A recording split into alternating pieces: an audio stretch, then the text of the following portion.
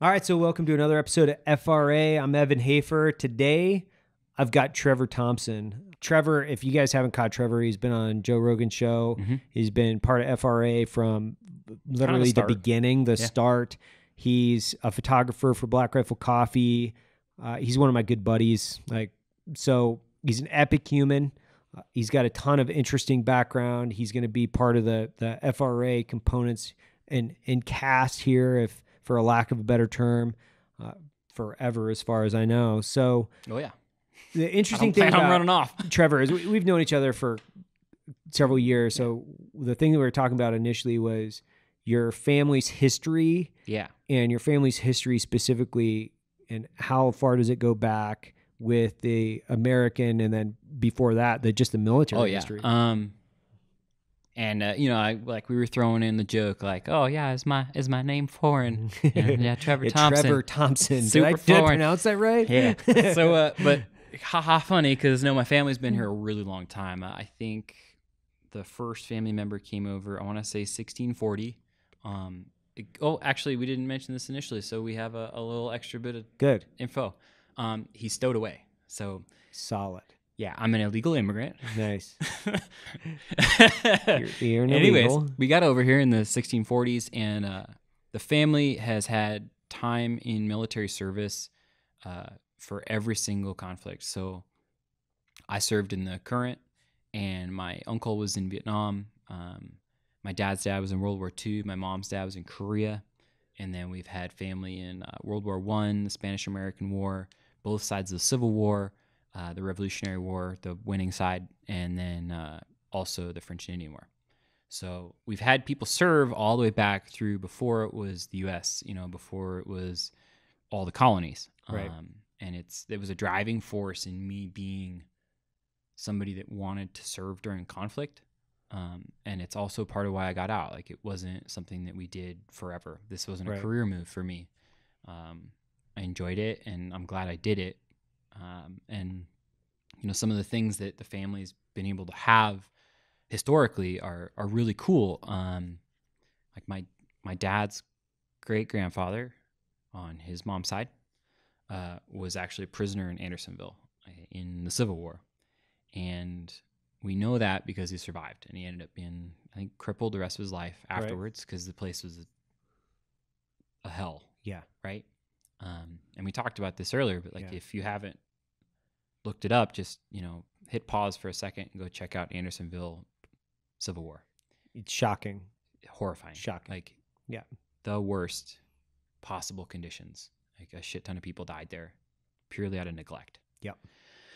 And so, um, great grandpa, great great great grandpa Edgington, he was actually a flag bearer, so he carried a, a Union flag. Um, and when he was captured, they they capture all that shit, and he hmm. yanked off one of the tassels from the flag, which is wild. You know, to think like he could probably could have been killed for that. Right. Like, why are you trying to keep part of this this thing that you know is literally an emblem of your opposition to us? Right. Well, he kept it, and we have a letter describing what that tassel is, and that tassel and a photograph of him and the letter are all framed in my parents' house. And it's incredible to have that piece of history. It's 160 ish years old from an American flag that went through that prison camp that is in the home. Yeah, you, you sent me a picture of that. I don't Oh, know yeah. how long ago, and I was like, "Holy shit!" It's heavy. It's, It's it's, just a heavy. really heavy. Uh, I I don't even know how to describe it because when I saw it, I was like, "Holy shit!" Is Yeah. that the, and the circumstances around Andersonville were so horrific. Just One, extreme. And then to have a piece of that history is truly incredible. And then, you know, dovetailing that with your your grandfather's Mm. personal history, Yeah. which is another horrific fucking And, I piece of American history. That was another guy. I mean, his so his granddad fought in the Civil War, um, and uh, you know, he grew up during the Great Depression, and World War II comes around, and he was at Gonzaga, Yeah, and uh, I mean, he probably should have played professional baseball. Like he was that good of a, ball player. Right. Um, he played with a bunch of the. So they used to do pickup baseball games overseas. Um, I'm- I think they've done some like documentaries about that stuff. yeah, yeah. He played with those people. Like he played pro baseball wow. in the war, um, and they asked like, "Oh, why aren't you know you should you should come play?" Um, and on my mom's side, actually, we had somebody play for the Reds. Like, so there was a lot of baseball in the family, Right. But instead, no, he was a Marine in the South Pacific in the Sixth Marine Division, and he did seven combat landings, including two in Okinawa. which is insane. Like Totally insane. it's completely insane. I just went back through those or a couple of those books.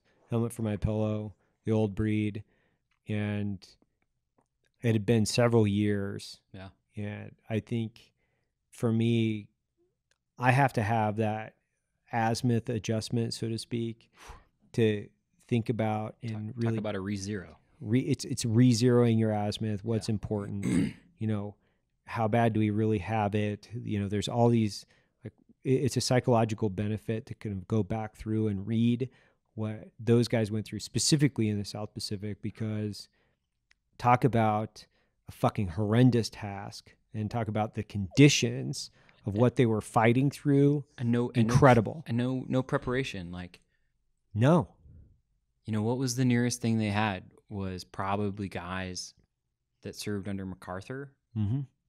that ran from the Philippines. right Might have been the closest they had to understanding what kind of conflict they were getting into.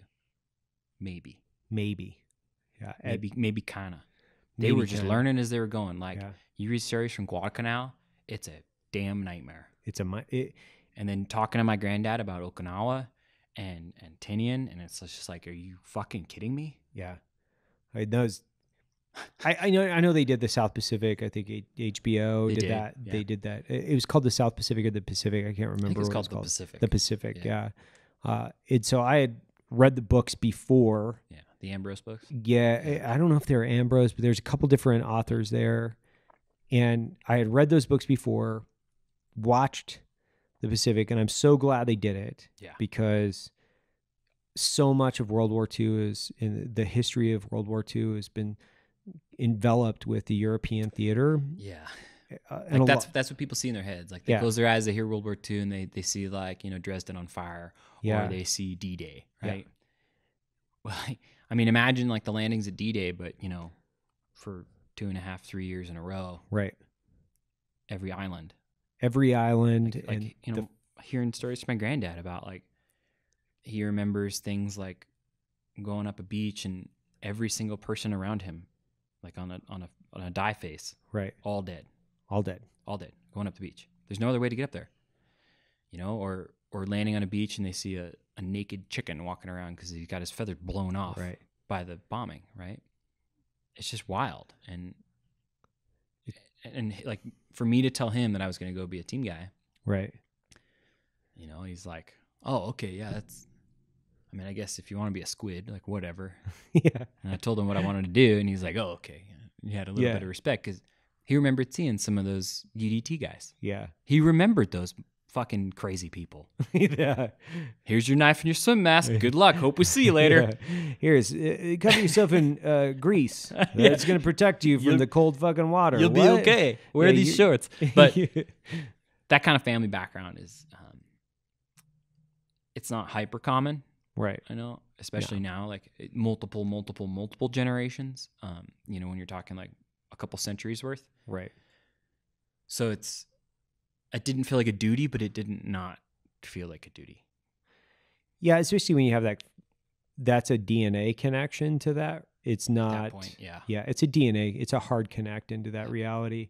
I think I, I don't know how many times I thought about my grandfather. He was a um, he was a radio guy on a B twenty four Liberator, flying out of the Aleutians into Japanese territory. So he's he hated flying. After course. Wouldn't of course you? he did, right? So People shot at me for three years.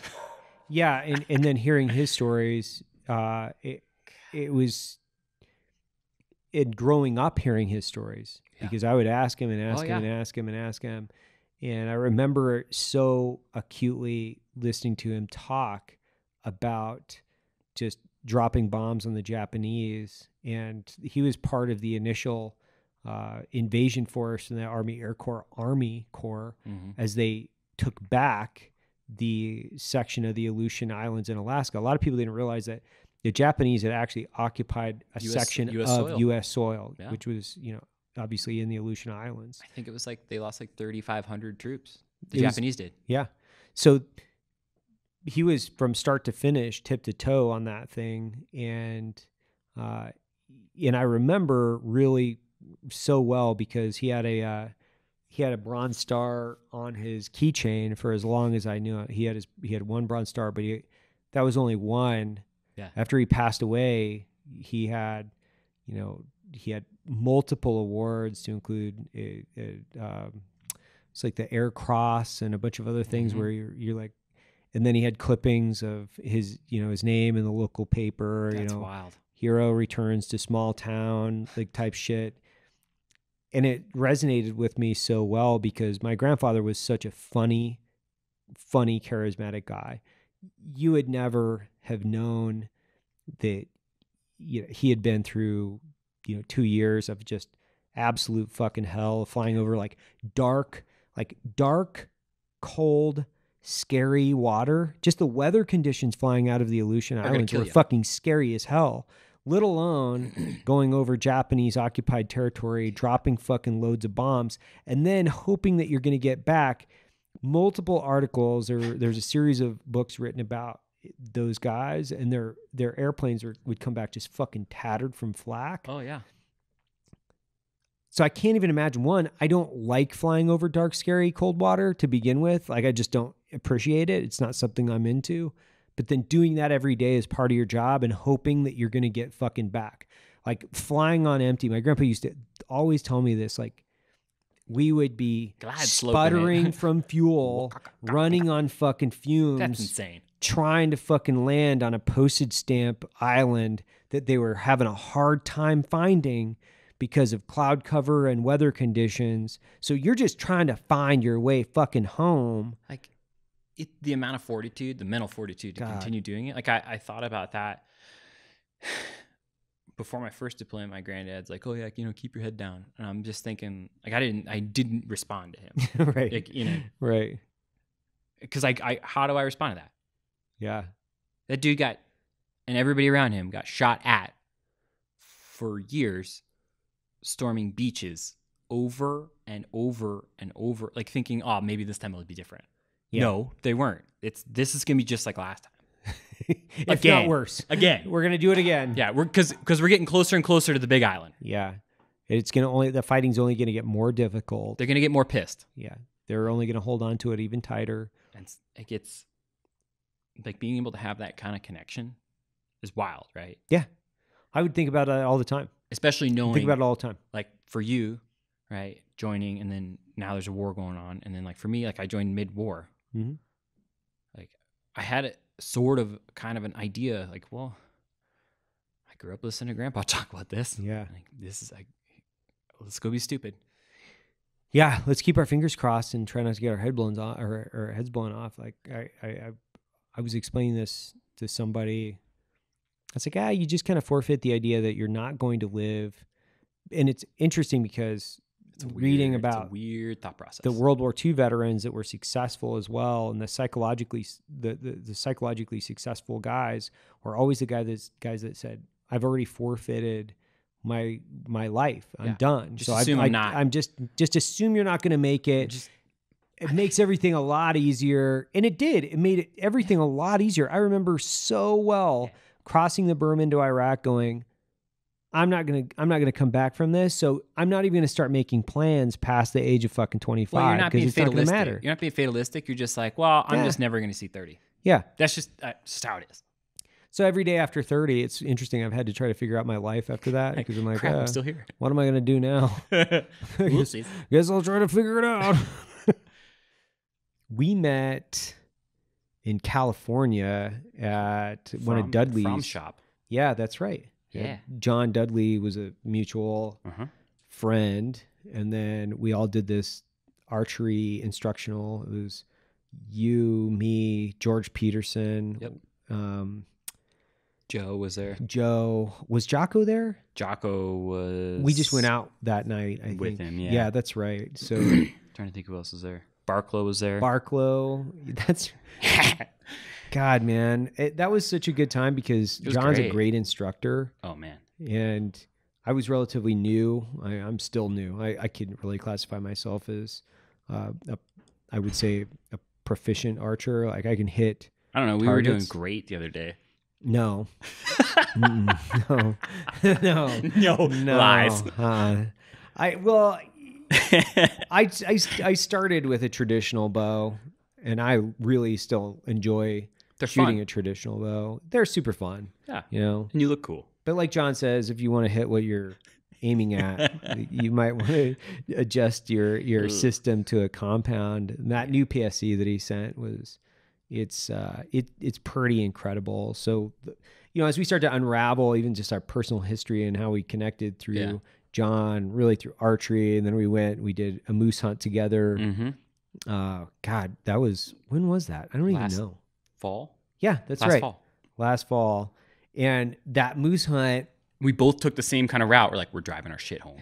yeah, yeah. So like, you moved. That's right. You moved up to Utah. Uh-huh. You moved up to Utah, and we were like both planning, like, what are we gonna do with this Yeah. moose? And my only objective, because I took this moose, and it was its rack was just pathetic, and it was I don't know. It's gorgeous. it was pathetic, but it's delicious. Yes. So my only objective with going up there was I really, really wanted to feed my kids, my family moose. I really wanted to feed my family moose. I was not concerned with the size of the rack. I wasn't concerned with taking a trophy. I was only like, I want a I'm not legal leaving animal. here. I'm not leaving here until like I have an animal Yep. and you are you're the same way. You're like, Oh, you know yeah. what? I'm I'm not leaving until I get an animal. And I mean, maybe people have seen that moose rack now. Uh, when I was on Joe's show, Right. you know, so some people have seen the size of that thing. They're like, oh yeah, that's a cool, huge trophy animal. Well, I can be very honest that I actually tried to kill another moose earlier that day. Didn't get within range. Like I mm-hmm. just couldn't get a clean shot, and he had smaller paddles than anything we killed mm-hmm. the, the, the whole trip. So believe me when I say I was up there for fucking meat. Like I was there meat hunting. Period. I just got really, really, really, really, really lucky. With, Yeah, I with that animal stepping out Yeah, for sure. because you don't know. Like you don't know. All you're hearing is like, oh, oh, oh. you don't know. I don't know what's in there. Holy crap, he's gigantic. yeah. Can't Whereas, miss this. like my experience. So the funny thing was, was I had been hunting for a few days with a different guide. Yep. Um, and I wasn't really that satisfied with the hunt that I was getting. Trevor killed his moose, and then it's like, hey, go with my guide. Turned into a totally different hunting experience. It was the first time I'd ever hunted with a guide, so I, I was unsure as to It's- it's kind of a- how to navigate that relationship. It's an interesting relationship, right? Yeah, it's a super interesting relationship. Yeah. Um, and the guys we had there were awesome. Like the Yeah. the, the camp itself, like Andy Stumpf, John Barklow, you know, you and Mhm. Dudley. And Dudley, for people that don't know, like John is probably one of the the the the, the most fun people Oh to God. be around. at hunting camp. It's Out of control. it's out of it's out of fucking control. It's so much fun Yeah. because his like you know he puts the F in in hunting. You know what I mean? Like think- fun. I think the first bear camp I did with him, after that bear camp, I was like, I'm never missing another hunting camp with you. Like if you if you invite me on a hunting camp, I'm going because this is absurd. It's absurd in a way where you're. It's it's dangerous fun. Oh, That's what I like about Yeah. doing things with John. He could have his, you know, he has had, had his, his own television series, but Yeah. he truly enjoys a bit of dangerous fun. Yeah. And if you're out with him, like, you know, you, you realize like you're going to put in some work. You're going to put mm-hmm. in a, a lot of work, I would imagine, because everything I've ever done with John, it's typically you're going to put in some some, Miles. some physical miles. Yeah. Uh, you're going to kill something for sure. Like Oh, yeah. you're going to kill something. It doesn't matter. There's gonna be blood on the ground. Mm-hmm. There's going to be blood on the ground, and you might be a little bit drunk a lot of the time, right? Ah, yeah. There, there might a little, a lot. Yes. So, th- but John makes it a lot of fun. I mean, I think it- as when we look at like all the people and that we spend time with, John is probably one of the the most energized and fun people to be around because he so- just doesn't give. a And it's shit. genuine. Yes, Like that is his personality. to a T. It's amazing. he's a gorilla. One, like Yeah, he is. like an orangutan. Maybe. he's like He's big yeah, and he's a big like like a linebacker essentially. He's Yeah. built like a fucking linebacker. well, he played. He played ball. right Right. Like he could have been a he could have been an athlete for sure, for sure. for sure. And you know, I, I remember the first time that I brought him out to the ranch down in Texas, and um, he was up probably till three o'clock in the morning with JT, and and Probably one of the few people that could put JT under the table. Well, JT, and then there's another guy that's an MMA fighter that we hang out with up there, Jeremy. And those guys are no joke. They are professionals at pushing the limit. Yeah. And John not only hung, but probably exceeded expectation. Because I was concerned. I was like, man, I I hope I, I hope these these guys are gonna be all right around John because you know, I don't know if John's gonna you know want to just get it on. Just you hammer know? down. No, no, he was like Yeah. hammer down, and then he's up at six thirty or when, whenever six thirty a.m. He went to bed maybe three hours before that, throwing around kettlebells. I remember that at my first bear camp. We're up there, and I'm like, Andy, like, I saw a lot of booze, and I'm like, hmm, okay. uh, Is he gonna hang? He's like, you watch out. Yeah, watch out. you watch your ass. You be careful. Like, what? I can't, I can't put in those type of miles, man. Like I, I'm not built for that I- type of speed. I did that as a new guy. I'm good. Yeah. Like he is But it's great. he's like a what I would call him is he's like a tractor monster truck. Yeah. He's really fun, but there's a lot of utility that you can get done. Yeah. And you're probably not gonna be able to flip it. No, no, Nah, no, you can't flip no, it. uh-uh, You're never gonna see the wheels up. No, Not happening. and it, you know, outside of the fact that he's probably one of the most proficient, you you know, archers in the in the nation as far as like his instruction, what he does. And this isn't a podcast just promoting John, but God, what a fucking cool guy that dude is. And I like seeing people like that that are so genuinely willing to give their time away, Yeah. which he does He gives it away all the time. Like all if the time. you got to, you guys don't know who John Dudley is. Like School of Nock. If you're even interested in archery, which, uh, you know, Trevor and I obviously we we Minor interest. minor interest. Yeah, at this point, I would say that I probably have a major Obsession. problem. I have- yeah, I may or may not be building arrows in my garage all the time. all the time. Uh-oh. Yeah, uh, it, it's so much fun, and I think you and I've talked about it a lot. Where this active form of meditation, hmm how helpful it is. You know, I'll go out. I've got you know my bow literally is set up right outside, Oh yeah. and I'll go out and shoot 10, 15, 20 arrows, come back in, go back to work. It just gives me a little bit of a release, and I- then I can go back into what I was doing. I do that at the house too, and it's like you know those first three or four, you're still thinking about whatever was going on, but you know by the time you've walked down to the target and come back two or three times, like you know you're 18 or 20 arrows in, it's like nothing's bothering me. Nothing's bothering me, and I think that that's an interesting thing for for veterans Oh yeah, where you know you've you've done a ton of shooting in your past. Obviously, you know Trevor was a SEAL. If you didn't know that, so he's done a ton of yeah. I cut my hair, so it's tough to tell yeah. now. It's, it's and you don't have a lot of gel in it, Yeah, keep but down low. you've taught a ton of shooting. You've Yeah. done it on the private sector as well. Mhm. But what's what's kind of give us some ideas and thoughts around archery and what it's done for you and kind of how did you get turned on to it? So what's what's your background in it right now? archery? I never had an interest in rifle hunting. hmm Period. Um, and Why? Part of that's because of how I grew up. So I grew up in LA. Mhm. Um, I'm literally from Los Angeles. Uh, my mom's from LA. My dad's from LA. Like, there just isn't a background there. Now, it wasn't an anti-gun or anti-hunting household. It's just you know I'm not going to walk into my backyard and see deer. Right. Like we, they were there, right? But they're not. It's not part of the culture there. Um, now, obviously, it was for my grandparents, but it just wasn't taken forward. So Mhm.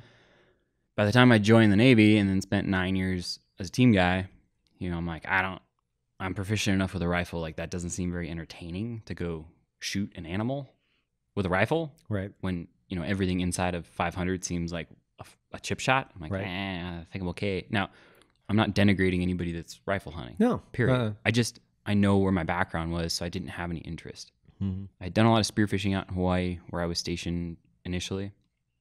So when Andy started getting into archery and bow hunting through John, right? I told him, I'm like, hey man, if something comes up, I want to learn how to do that because that's probably the only way I ever want to hunt anything. And man, from step one, it just felt right. Like shooting an arrow. I'm like, this is really hard. Like this is like this is like pistol shooting, but harder. Right. Like way harder. Way harder. Like everything you do wrong in pistol shooting, you have a minor little defect, you get a, a little miss. Everything you do wrong in archery, it's exacerbated to the point where you don't even know where the arrow went. Like, Yeah. oh, that's great. That's gone. Never gonna find that. It's insane. It, it's it's literally insane how much how much shit you have to put into that, how much thought or no or no thinking to get a great archery shot off. Mhm. So for me, being somebody that's taught rifle and pistol combat shooting, I was immediately drawn into how difficult it is, knowing I'll never get this right perfectly. And so from there, from that first animal I took, which was a black bear, I was like, this is the only way I want to hunt. I love this. And I just fell in love with the sport and how difficult it is and how much practice I have to put into it and how how fucking quiet it is too right.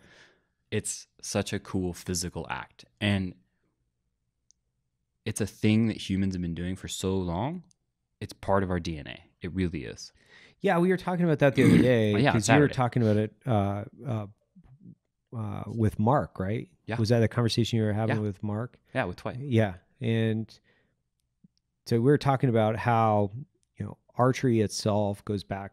Was it thirteen thousand years? Is that what I you were saying? I think the oldest confirmed bow and arrow is from 11,000 years ago And there's some guesses on older stuff but they are absolutely positive that's what that thing is which in the frame of you know human development, it's a second, Yeah, right? nothing. But it's still when we look at all the rest of the components of you know humanity and uh, hunting and gathering and Yeah. things like that, there is a very uh, a, a somewhat of a spiritual component to it yeah that I'm I have a hard time putting my finger on necessarily. I just know for from my perspective, I like to think of myself as more of a projectile enthusiast, right? Like I Yeah. like to hit targets with anything. So if I'm like, you know, throwing my gum in the garbage or, you know, you know, rolling fucking bowling Yeah. balls or whatever it is, like I want to hit targets. I just enjoy hitting targets oh yeah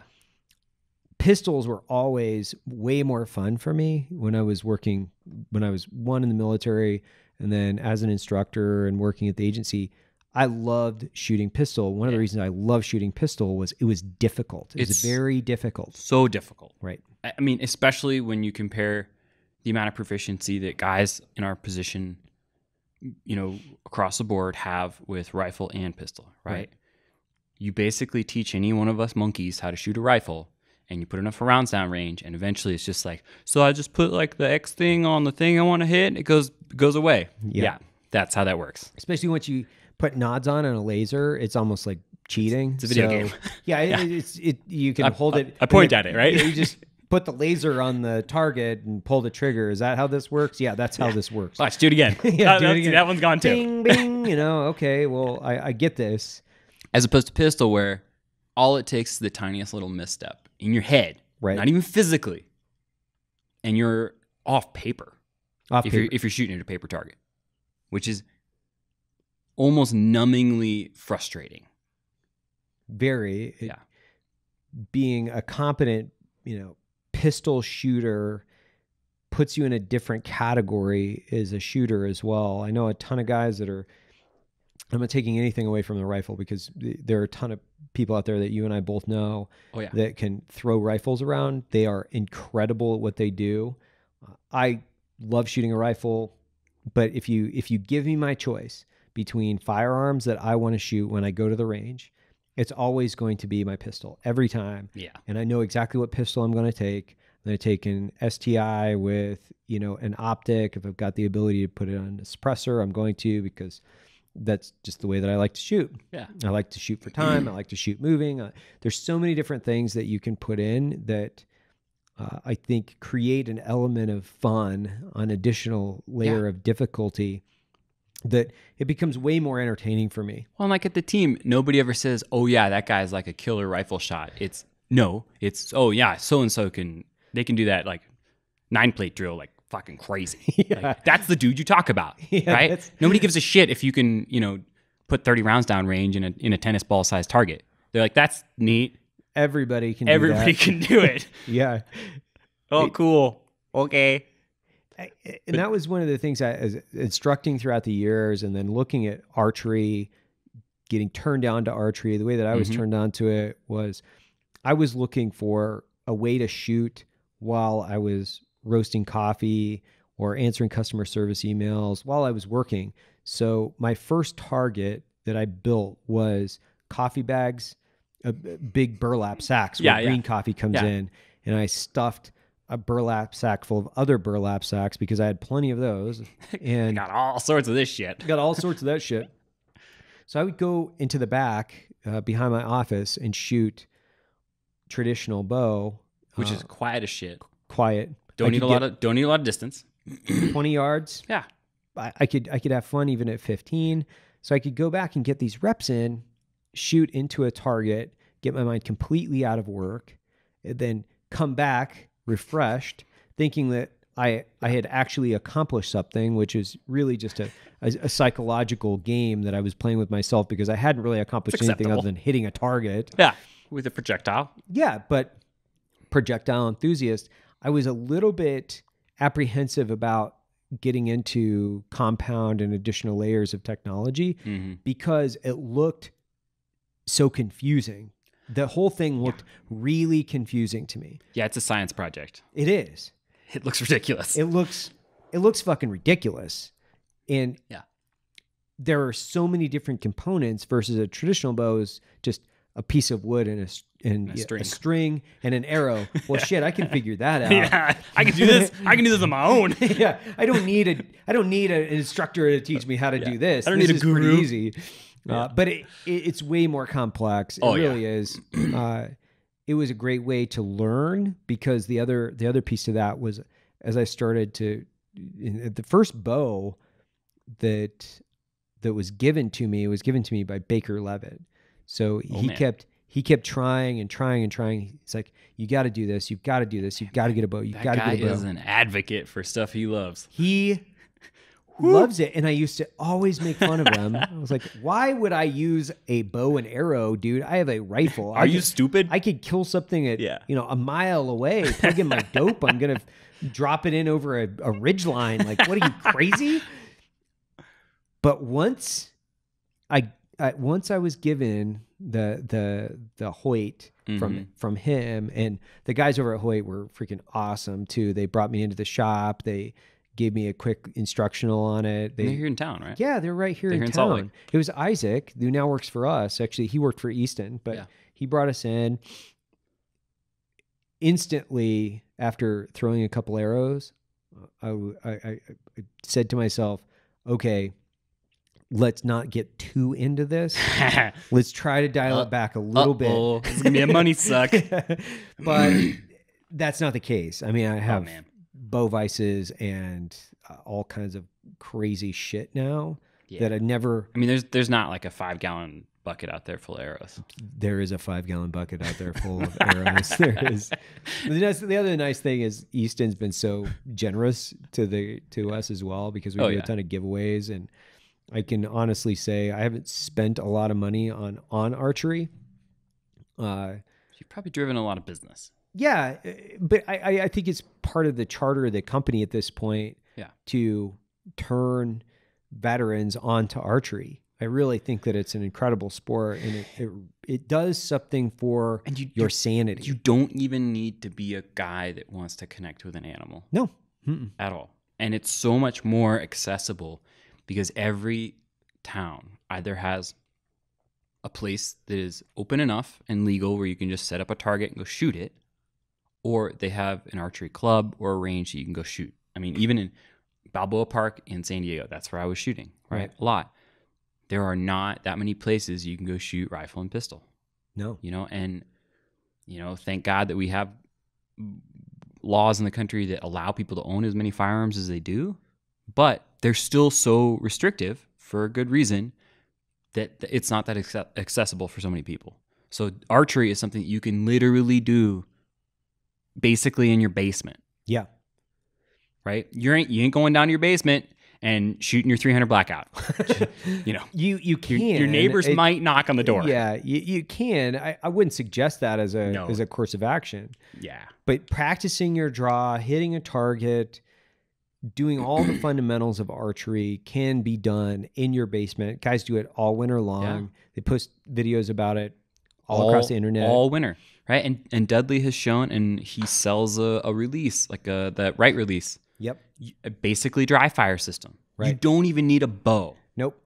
You don't even need to be shooting a bow. And when I was traveling a bunch two years ago, right after he taught me, I had to take like two months off Right. of archery because I was traveling a, a ton. Um, that's when I went to Lebanon doing some security work, Right. and I just took the right release with me. And the second I came back, it took like one session, and I was right back on it. Yeah. Just get your dry fires in. Get Get your reps in. get your reps in. I, th- I think that's one of the this the single best things I have started in the last I would say at least decade, where it it continues to evolve as a skill set that you can you can move into whatever rabbit hole and you can get as Yeah. sophisticated as you want, or you can be the guy that you know throws 50 arrows a year. I was talking to uh, Yep. uh, super accomplished hunters about what do they do throughout the year? What are they doing to prepare for hunting season? And one of my buddies was like, "Oh, I go out and I shoot like 50 arrows. The rest of the time, he's shed hunting and he's out in the mountains, but he doesn't really shoot a lot. He just makes sure that his bow's tuned, Dialed. it's dialed, and so when he goes out, he's ready to connect. And, the, and And he are kills an elk every year. and those are guys that are putting themselves like they're mitigating that you can call it lack of practice in comparison by volume right? by putting themselves in scenarios and knowing the terrain and just being a better hunter Right. right and like for us coming from that background we're trying to mitigate all the factors Right. like i want to be a very good hunter as well as i just want to be comfortable with a shot at 60 Right. but take a shot at 15 Yeah. like that's what i want Right.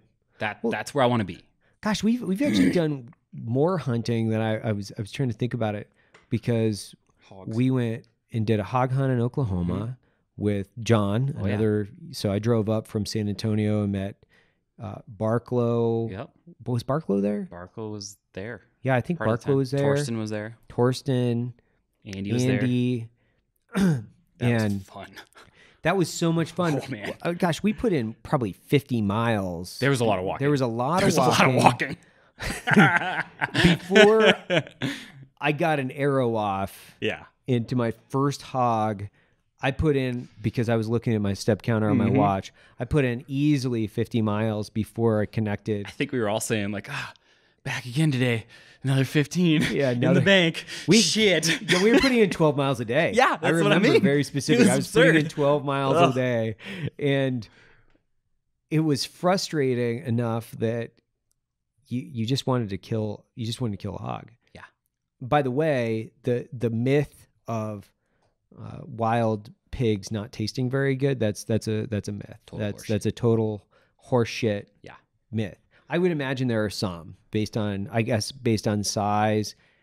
They Yeah. can, and based on maybe time of year and what they're eating, I'm not exactly sure. But when like we ate it in Oklahoma, It's great. it was amazing. Chad was cooking. Yeah, well, it helps when you have the guy from Traeger cooking. I this is like this is like the worst podcast. Like, oh yeah, you guys just like shoot arrows with John Dudley, and they got a Traeger, that chef from Traeger. Should just kept that one to myself. Yeah, how lucky are we at this point in our lives where the guy from Traeger comes out and cooks? But that was incredible. And I think actually John had cooked that. I don't know if that the was first Chad. night. Yeah, the first night. Yeah, because I think it was the second night or so that um, he and Preston were cooking. Right. Yeah. Yeah. And we had we had a blast on that trip as well Super because fun. we we did some long range shooting. Oh, we yeah. they were we- do- they were like because Andy at that time was still getting the pretty dialed with long range Yeah. shooting. Um, Andy's a relatively good and experienced uh, proficient LR sure. guy. Yeah. So They both had the same setup, so it made it really easy Mhm. for him to sit there and like teach him how on a, I think it was a six five, right?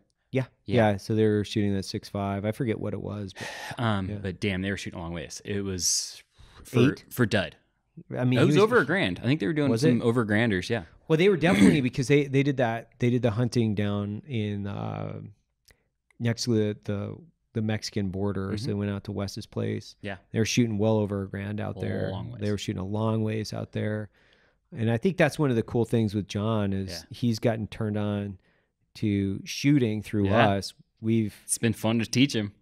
it's been awesome. I, I put it I put a an STI in his hand out in Texas. I was like, all right, and it, it was uh, John Dudley and Brett Burns and all these guys were Yeah. out there. It's such fucking cool, cool group of people. You almost pinch yourself because Yeah. you're around Is such this really fucking rad people.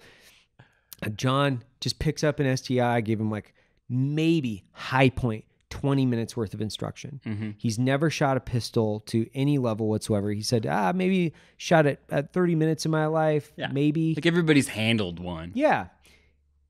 He was ringing steel out to like 40 with It's a long ways. no problem whatsoever. Now, part of that is great gear. Yeah. Obviously, you get set up with great gear, great optics. And, and archery is, very, instruction. is similar-ish. Yeah. Archery is similar-ish to pistol shooting. Like he under, he understands that every minor error is a major conclusion on the back end. Like the second order issue that's going to go on when you you know squeeze too hard with one hand Yep. or when you jerk the trigger. He understands it's the same as when he's shooting a bow and he's you know squeezing the bow hand or yanking his release. Right. He understood that. Well, and and that's an interesting translation for most shooters. I think that shooting archery directly translates into the rest of your shooting Oh yeah.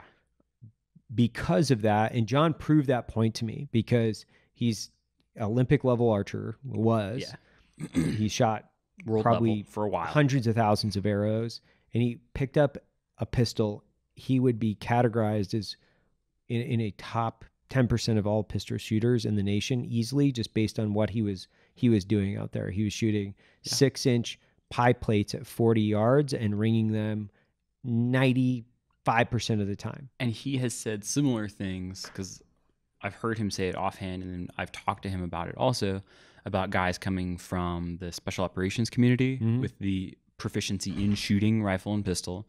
That he puts a bow in our hands, and he's like, "Well, that's easy. That's fucking turnkey. like that's that's ridiculous. Like you shouldn't just be able to hit a target at X distance, you know, Right. with that kind of proficiency." But that's coming from a background of the exact same type of thing. Like, oh, look, bing, oh, it's on. Oh, that's neat.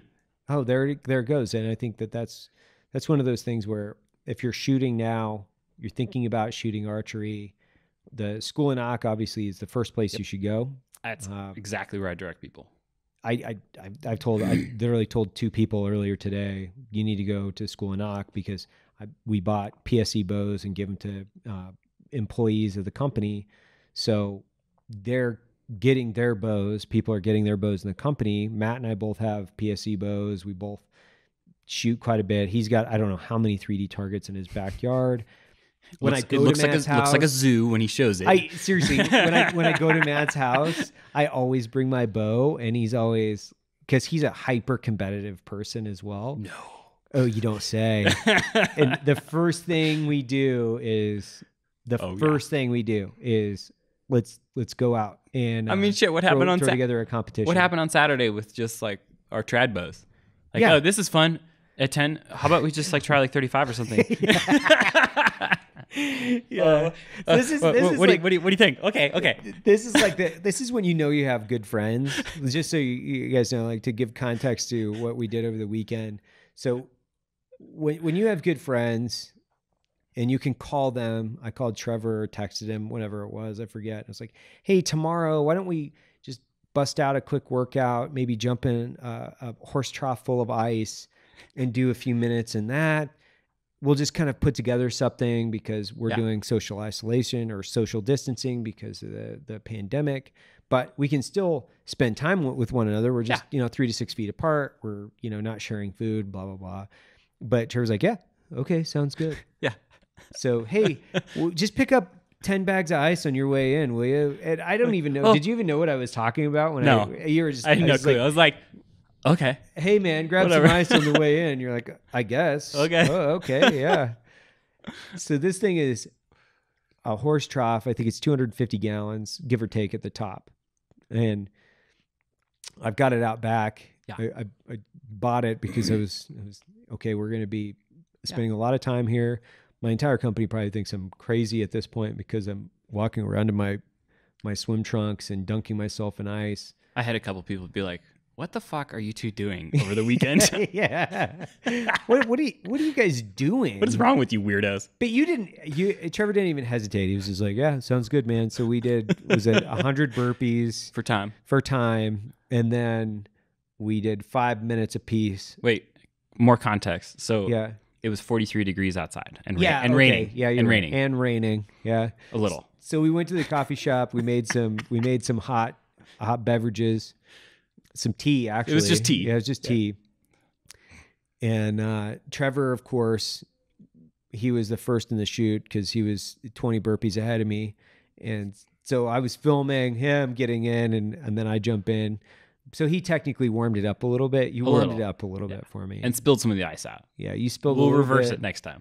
So I, I have to go first next time. I came in the day before yesterday, and did it again. I saw that. I was. Um, I, was I did 10 minutes. I How- did 10 minutes last time. how was that? Uh, my, my feet were numb. A little chilly. Yeah, my feet Yeah, were numb. yeah. Yeah, my feet were numb. I had to, you know, because we were sitting Indian style in this Yeah. horse trough, which keeps your legs and your lower extremities a little bit A little warmer.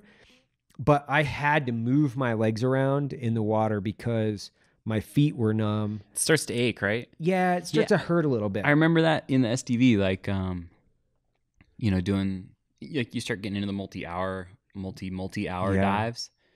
You know, eight, nine, ten hours underwater, and like, I'm kicking my feet so I don't freeze to death because I can't go Oh, anywhere. Yeah, Oh, this like- is fun. super fun. But like I said, when I got in the horse trough, I'm like, oh, I, I think my body's remembering how to do this because I wasn't Yeah. like I did. I don't know. I don't think I looked very uncomfortable. no, you didn't look uncomfortable whatsoever. Yeah. You- you just looked like you were sitting in a tub of water. It is. Uh, It's a little chilly. It was chilly. I did when I did it the other day. it- Ten, the- ten's a little extra. when I did it the other day, though, the sun was out, Mm, and so makes a big difference. it makes a huge difference because my head was was warm Mhm. from, and the sun was directly on my face. So So maybe we need like a pop tent over the top of it to avoid that. you know what I did is I started dunking my head uh, to get Uh, one. It was to get the Wet what is again. It's a mammalial mammalial response, I believe. mammalian. Yeah. mammalian, Mhm. um, which was an Aubrey Marcus, uh, which was something I learned from from listening to his podcast and talking to him. But I would dunk my head underwater to start cooling myself off even more, because it, as if it wasn't difficult enough. I felt like I was cheating because it was so warm. you isn't know, fair to me. Like, this isn't fair. I'm not giving myself a full experience. I need give myself a better experience in this. Uh, so what I found is that works exceedingly well Mhm. because it fucking sucks. Yeah. You don't want to do it, No. but that forced compliance of it, making sure that you're getting a total experience out of something that is quite literally supposed to be a little bit miserable. It's supposed to suck. It's supposed to suck. Yeah. Now the health benefits, I think, way outweigh. Oh, yeah. What what the suck factor is, um, but I wasn't going to go out and try, try to shortchange myself. Now I didn't get a good workout in that day, at whatsoever, because what I was going to do is do that first, Mm-hmm. and then sit in the sauna for a while, And the dry sauna, crank up the heat, but I couldn't get warm enough, even work trying to work out to try to get warm enough. So I kind of cut my my workout out a little bit. Mike Clancy, he's a he's a uh, former Force Recon guy. He's he's uh, he's working with us, and he was out back, and I was sitting there talking to him. It's like, so you're gonna work out or what? And it's like, eh, I don't know. I don't Maybe like it. I don't like it. it's you know, but it's those experiences. I think. See, but it's it's that kind of experience and those kinds of friends that are cool to have around, and it's like Like that moose hunt was like that, right? Yeah. but it snowed the first day Yep. and it rained the next two. Mm-hmm. You know, like we weren't walking into animals, like No. boun- bouncing into moose. Like it's you know, or like that hog hunt. Like it Yeah. was it was fucking cold on that hog hunt. It was cold. It was cold. Yeah. It was a lot, a lot of walk. Like I was glad to be walking because it was cold. I, I just like the, the the the gear aspects of those things too because when we first started on that hog hunt, you mm-hmm. and I both were in the same position where we were carrying our bows Yeah. in our hands, and then after about day two, we're like, "Well, I'm just gonna put this on my back and carry it Yeah. on my back." It goes right This to the is back. ridiculous. this is if we see hogs, we're a long way off, so we're at plenty of time to do this. Oh, yeah. I remember though because I was going out on the first the first time and I was like trying to knock an arrow and Yeah. No, no, no. you're not gonna I'm need gonna that be for ready. a while. You're you're not gonna need that. That's cute, Evan. Yeah. We're good. We'll see one at lunch. But Maybe. even going back to my moose hunt, so I I walked and hunted for eight eight days. hmm And we only had ten days out there. Yeah. So Which is part of why I shot mine on the fourth day. Was yet you're like I'm oh going. God, gotta kill him. Well, he was massive either way. That right? I think you guys might have killed me. If I, Yeah, if you would have passed that up, I would have been com- really mortified. You're fired. and but I I had walked all week, yeah.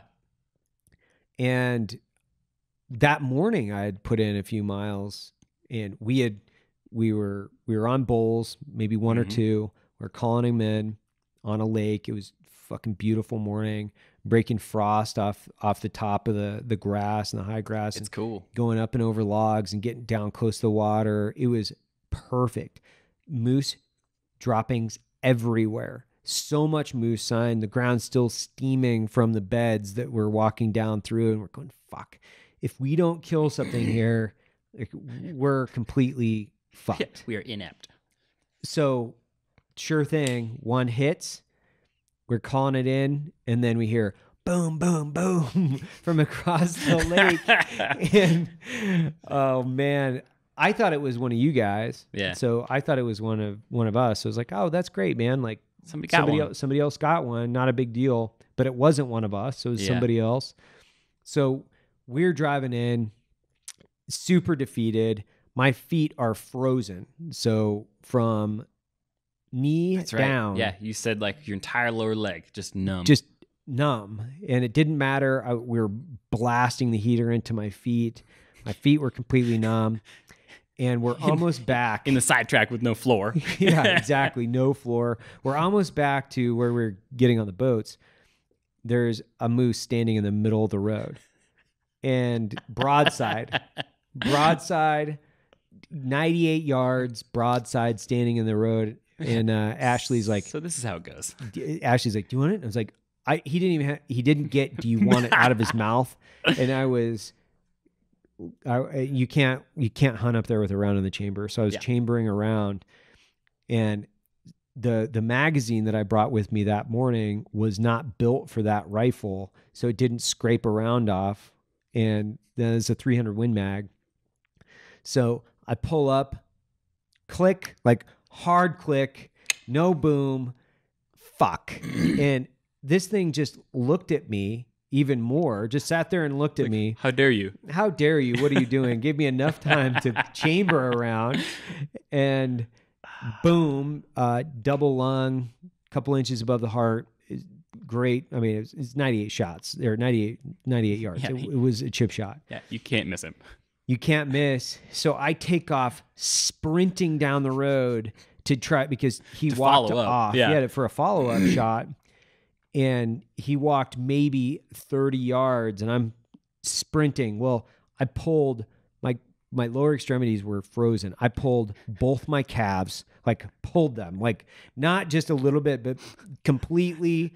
I I- felt like I severed the calf off my fucking bone in my leg. I remember this that night because yeah, because I couldn't came walk. back and you came back and you you were like it was as if you had like air braces on both feet. Seriously. Like what is wrong with you? Yeah. I pulled my calves.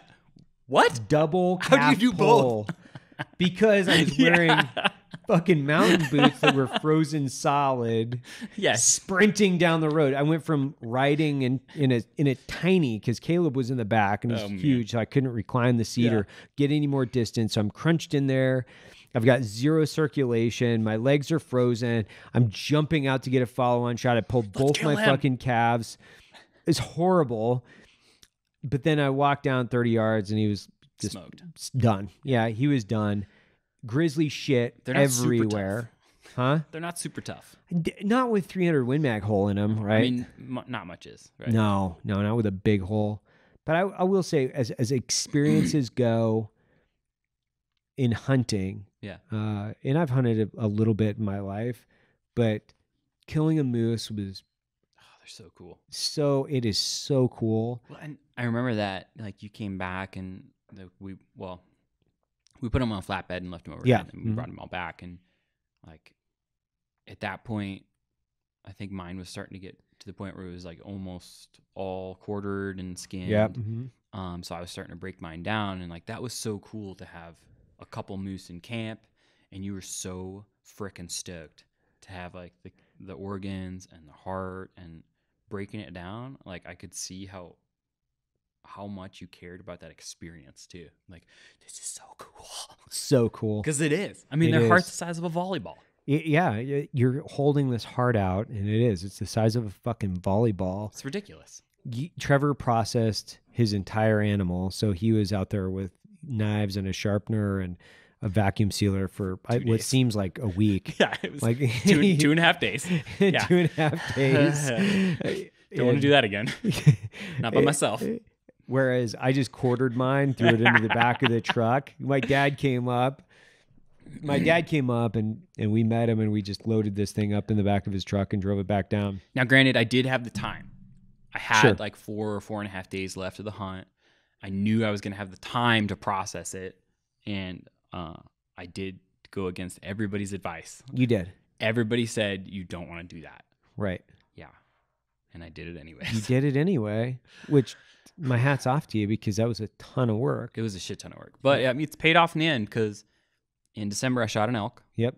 and she was big. It was Mhm. like a depredation tag, so it was a, Yeah. a cow. And I, after that moose experience, and having done a bunch of whitetail, I was like, "Cool, let's gut her and throw her in my truck." Yeah. whole. Brought it home, laid her out in my garage, and I processed that whole elk in an afternoon Wow. That's well, and that and that because that's the I thing. did the other thing. Yeah. Well, and I did that even down in Texas a few months ago. Uh, Matt and I went out and went whitetail hunting. So we hunted Yeah.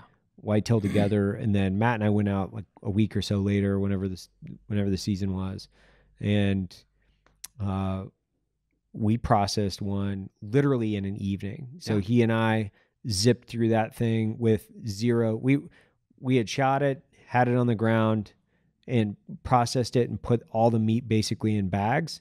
And it was done by 10 o'clock at night. We were in and out. We were drinking by 10. Yeah. It was fucking, it really wasn't a big deal because it's a small animal. Oh yeah, You're essentially processing something that's the size of a dog, uh, which, pretty much. yeah, it wasn't very big. Yeah, But that entire week, by the the meat that I had taken from our hunt together, which was the whitetail down on the Mhm. on the border, and then that that whitetail, by the time I put that other one in the processor to make sausage out of it, man, I was eating whitetail for two weeks straight. and it's a great feeling to like, be that self-sufficient on red meat, on protein, Yeah. right? And especially something that you've handled all of it. You know, like it feels good to feed people that come to my house or to like I stayed at a friend's place on the way through Missoula on the way back from Canada Mhm. after shooting that moose. And it felt good to hand him a piece of meat that I know I had processed. Right. You know, that came from an animal that I know how it died. And I was the one that was respecting that thing's entire existence. Right. And for me, it all started from that first hunt.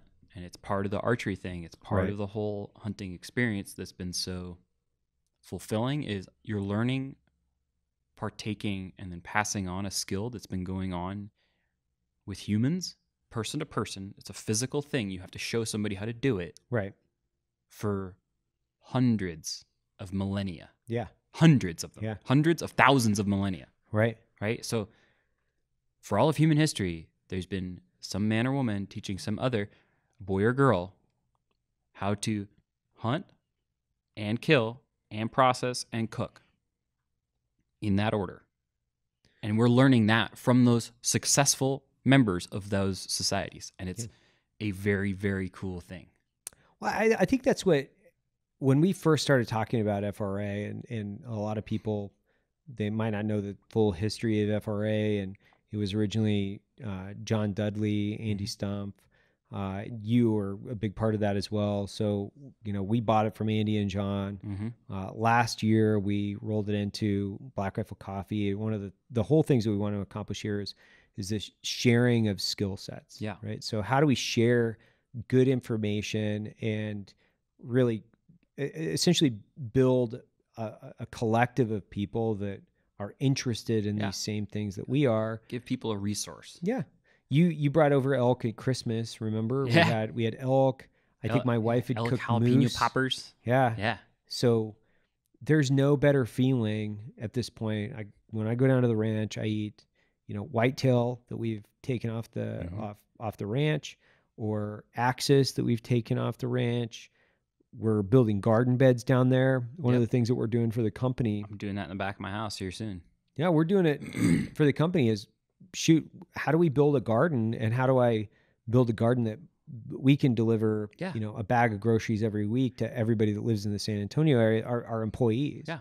I mean, that could be done here. Like there Yeah. could be a quarter acre plot here Yep. that is super self sustaining, Mhm. just a greenhouse that runs year round. It's so easy. And I actually saw somebody uh, post something on, it was Instagram, like a social media platform today, talking about victory gardens during Yeah. World, War, World War II. Right. So they encouraged people to have gardens and that delivered like 40% of all the groceries Yeah. vegetable groceries in the US during that time because they needed the other food from the major agricultural centers to go to troops and logistics overseas. So that kind of sustainability for communities is something that we're seeing the ramifications of that not being a thing right now. Right. Shortages where there shouldn't be shortages of some stuff. Right. You know, you, sh- you there there will be shortages when people panic. There will be, period. But you shouldn't go to the store and be like, "Oh, cool, I can't buy a vegetable at all No. or meat at all." Like that's ridiculous, Right. right? And that's that's not the fault of the grocers. That's not the fault of the agricultural system. No, I, I think there's there's something to be said about that for hunting in general and what that that skill itself provides for Mhm. individual confidence and psychology. Like, I want to be as self-reliant as possible. Yeah. One of the things that we're trying to do with the company is make it zero carbon emissions, not because you know I, because of some you know progressive wingnut that Yeah, some some left sideways. it's because I, I. I don't want the interference. Yeah. I, I want to be able to power the company just on its own without talking to the city. And obviously you have to, but this entire idea of self-reliance, I think has to be activated again and injected into society. Absolutely. I hope this is one of the second and third order effects of the pandemic is that people don't look at prepping as some weirdo tinfoil hat thing that they're doing. It should be this is my life. This is Yeah. the way that I choose to live it. It's a lifestyle. And we talked about this over the weekend where it's like that that second third order effect of being a hunter or somebody that has a garden or a friend has a garden. I mean, I know like in Switzerland they do gardens where you just grow carrots. Right. Your neighbor grows turnips, right? So you're maximizing the efficiency of the growing operation because you're Mhm. going to have some fail crops, right? right. But you can trade amongst the community. Right. So, you know, if you're a hunter and you have some some veggies in the background, you know, in your backyard, then this that second third order effect is I don't have to deal with like I've been asked a couple times by some people like, "Oh, how has this whole thing, you know, really affected you?" And I'm in a fortunate position with the company with how I work, right? That I've been able to like stay home, but Mhm. because I have so much meat at home and other stuff and I I don't have to go to the grocery store. No. Like, like this hasn't affected me in that devastating way that it has for a lot of people and I feel for them, but there is a way out of it on the back end. Yeah, and, and a lot of people are, are they'll say, well, and I've heard this too. It's like, well, that's easy for you to say because uh, you know, you guys are, you know, successful. I'm like, well, that's still taking a lot of work to get to this. And Yeah, it didn't My- just happen. my dad was you know, just a blue collar single parent. He wasn't wealthy. My grand my grandparents on both sides, they weren't wealthy whatsoever. They were actually Yeah. classification would be poor. I mean, I we've talked about this. Both my grand, both sets of my grandparents came from depression farms, Right. right? Like, I mean, my mom's dad co-opted his way through school. Yeah. He worked for the fucking college. Right. Like, come on, people. Like it, it's all doable, right? It's all doable. And I think if people broke down some of the stigmas that are associated with it and said, you don't have to have a, a ten thousand dollar rifle or No, a five thousand dollar bow. You don't have to have you know hundreds of thousands of dollars in a farming equipment to have a garden. It it can't be overtaken by, I, I guess, this progressive ideal uh, and the ideologues that say if you have a garden, if you do these things, you're some fucking crazy hippie. hmm Having the ability to feed your family, and if you're just single, if you're feeding yourself, like there is such a unique subset of skills Yeah. within that that are so interesting that you can choose to to to turn off fucking football on Sunday or whatever it is that you're into to go garden. to go figure out how to grow yeah, kale or tomatoes and then figure out another layer of that maybe learn how to can yeah. holy or shit pickle. or pickle Yep. or get a smoker and learn how to smoke your own fucking meats. There are so many different things that you can do that are economical that actually save you money in the long run. And we talked about this. Like, I've had people say, now, granted, I'm in a great position where I have been able to save some uh, cash and be able to put down on some of these more expensive hunts. Right. But we've talked about this. Like, you know, an expensive hunt isn't that expensive when you look at how much meat you're pulling from the animal, Right. right? Like those, you know, that moose. Like, I'm spending on less on the moose meat per pound than I would if I went to the store and bought ground beef, like good ground beef. Grass fed. Like- yeah, grass fed finished with corn. And it's better. It's way better. it's way better. It's better for you. Like that's an older animal. It's put all that life into that meat. You know, like that's the reason chicken doesn't really taste like much when you get it from the standard. Oh, that that chicken cost two dollars for the entire chicken, right? Because they grow them so fast to get them to a certain size. You know, they're- you're not getting everything uh, the benefit out of that that you would out of like a a couple year old gobbler that you shoot. Yeah. That's a turkey, right? Right. A wild turkey. It's a different animal. It's a different animal. It's it's got a totally different when we look at even the DNA and how it's Mhm. shifted, how it's been modified. I think there's there's so many different things that w- we're going to get into over the next you know 12 and 24 months when we look Yeah. at you know how we're looking at self-sustainment, how we're looking at self-reliance. It's not you know the tinfoil hat stuff. It's a Yeah. how do we how do we just make a really good you know high value uh, vegetable garden. What's Yeah. what's high value mean? It means that you have to have a lot of macro micronutrients Mhm. within your garden. So how do you plot that out? How are you planting? How are you watering? How are you going about your daily lives? And like, does that mean like for for us, like I want to put a garden and maybe have chickens in the back, right? Right.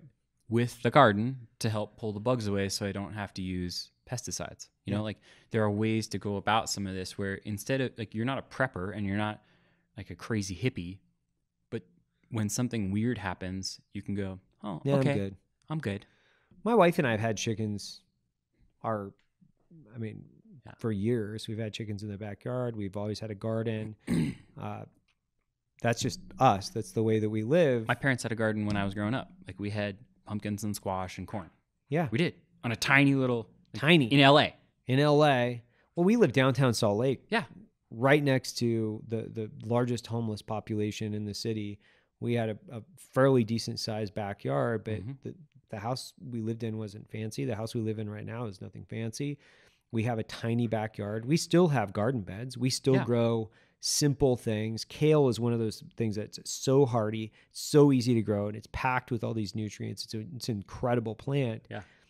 But we've done that every year where we can go out, we can pull the vegetables off our own garden, we can create a salad. We've had eggs in our kitchen for years that are coming from our chickens, unless our dog has eaten them, and then we have to replace them. But you know, according to us, doctor. they run away because that's we we have two little girls that would be The chickens very were- the ch- disappointed the if chickens they knew flew that- away. if they knew that Dr. Beans was eating all the chickens.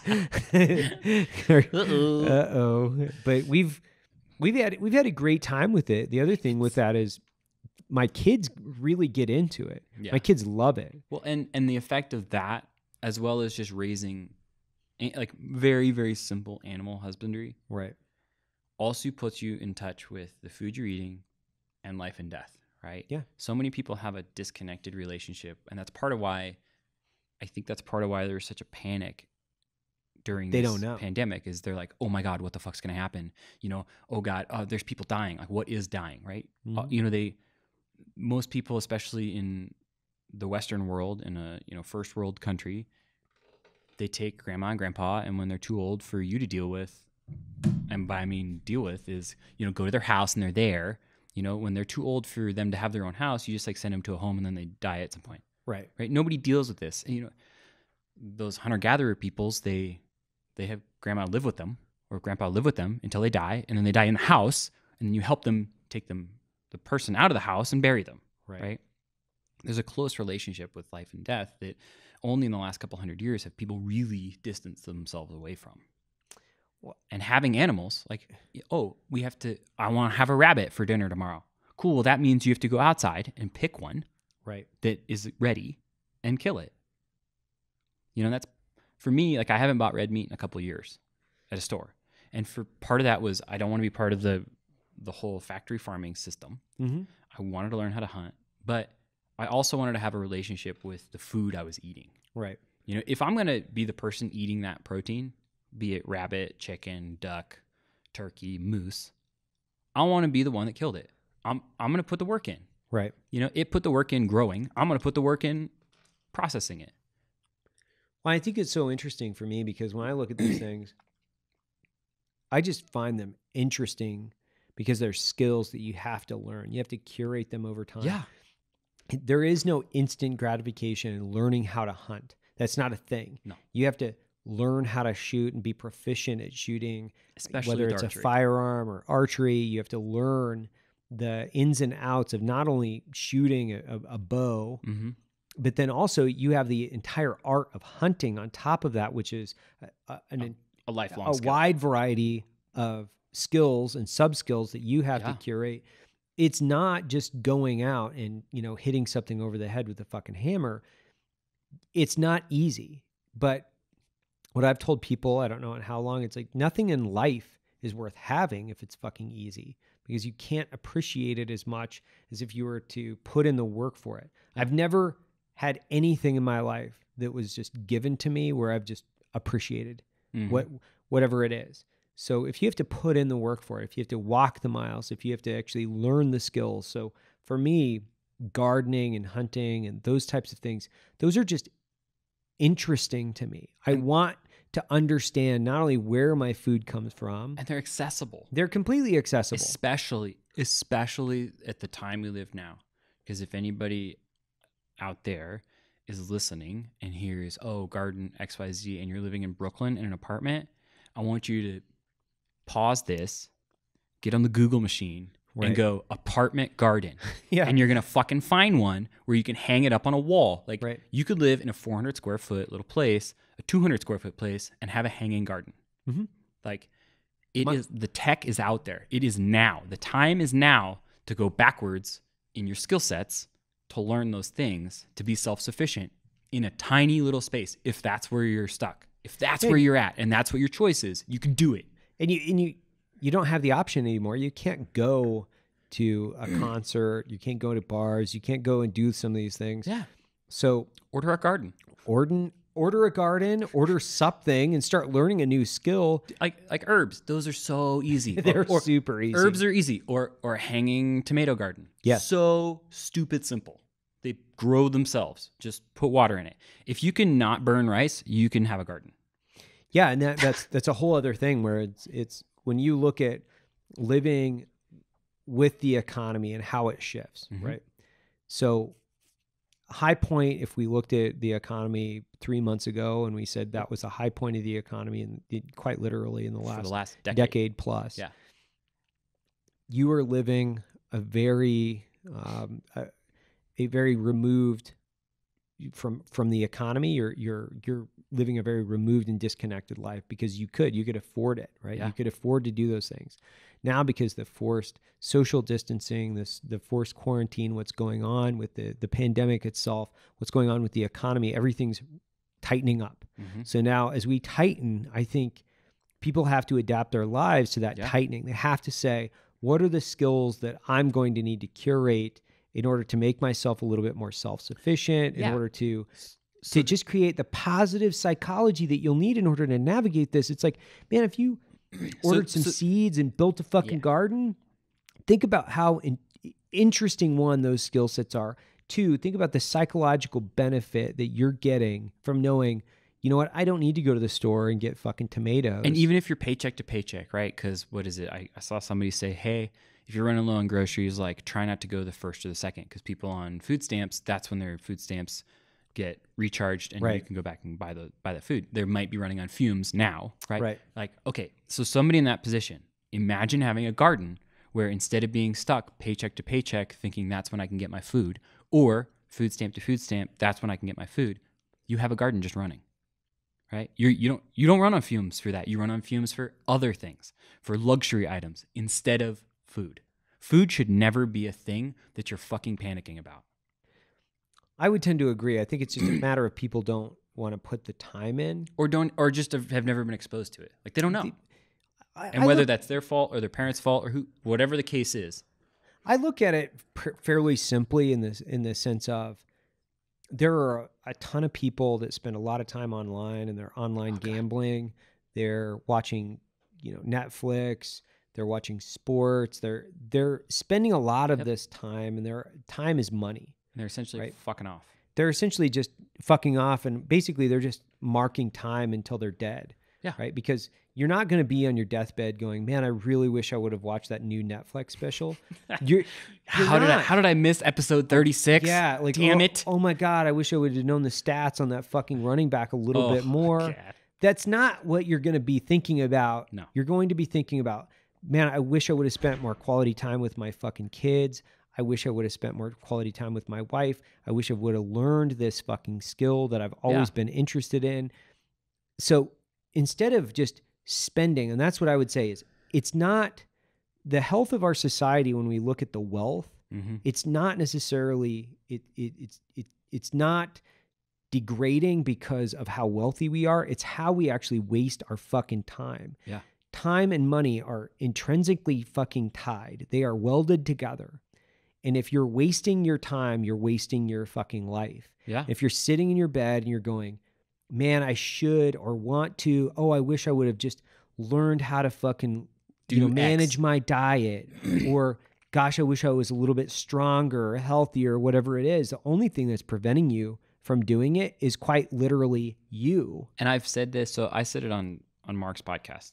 right the first time I was on. He asked, "Oh, why are you hopping on the assault bike?" Or it wasn't an assault bike; it was a, just a bicycle, like a Right. stationary bike, an hour every day. Right? Doing, I was doing a thousand calories every day right on the bike, um, and I said it, and it's a flippant statement to say, but it's also not when you start understanding the mindset. How fucking hard is it to do an hour's worth of physical effort a day? Right. So we have 24 hours in a day. right Okay, if you're working 10 hours out of those days, that's a lot. And then you're sleeping for, let's call it eight. Right? Eight, hopefully, if you're So- lucky. yeah. So that means you have six fucking hours of free time. Yeah. Let's do some simple math here. Okay, now you have kids. So they take up five and a half hours of that extra. You still have a half an hour of damn free time. you can carve it out It's it's doable. I mean, you have Listen, two kids. I, I run I run a company of 228 people. Obviously, like it just didn't grow itself overnight. I'm, Yeah. I, I wish I was that lucky. I wish I just had a golden horseshoe up my ass, and that's why I, I was able to to do these things. They take an immense amount of discipline and dedication in order to put the appropriate amount of time and habit. and it's it's time triage right Yeah. so for me i've sacrificed some of the things in my life to grow the company over the last six years which is yes i, I you know i put on probably 10 pounds that I'm not like super happy with. But I know that the time that I put in on the company that was directly an exchange on the front end. on the it's an exchange. All it is is I spent less time on my body, more time on the company. I'm trying to balance that scale now, but I also have two little kids. So I had two little kids in the last 6 years. When people look at my life and you know how lucky it's like man, I have worked harder in the last 6 years of my life, Yeah. you know, and granted, like I think most people know my past like I was a green beret. I spent the majority of my adult life overseas working Those just come out of fucking vending machines. they though. just like come out of vending machines. Like I know what hard work is, fuck yeah. and it's excruciatingly difficult to do those things. But there is nothing in my life that has been physically harder than growing this company. Nothing, and I mean, I can see it. It's brutal. There's some days I come in and I'm like, ooh, Ooh, I'm just gonna sit here and and just listen. It's Not- just- not, it- not be a pain. so I look at people and I say, "What the fuck?" Like my wife is she gets irritated with me because I have a saying that continues to go around my house, which is "suck it the fuck up." Yeah. Like suck it up. I've heard It's- that. Not even You've in your heard it before. Not even right? in your house. Everybody's heard it. It's like you're feeling down on yourself. You, you know things aren't going your way. Cry me a fucking river, man. Like I've had, you've had injuries. I've had injuries. I think mine's don't be a bitch. right? It's like don't be a bitch. Suck it the fuck up. Yeah. Like get get a little bit. And it's like, well, I need I need Jocko's podcast to give me discipline. It's like you're fucking weak. Yeah. Shut the fuck up. You're just weak. It, and I don't know how many times I've heard things where it's like where I've had these conversations with people. It's like, man, I wish. It's like, you know what wishing's for? It's for fucking cartoons, man, because it doesn't work. And and when people hear us say that, or any of us in, coming from our background or in this scenario, right? Maybe they think it's heartless, but it's it's more of like I'm frustrated that you don't fucking get that it's that simple. It's that simple. Make a fucking choice. Just like be like, all right, cool. So I'm gonna sit down and watch this episode of whatever the shit.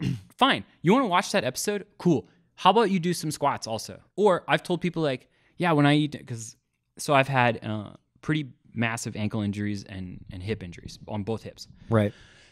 but I'm very very very flexible in my hips, my knees, and my ankles now.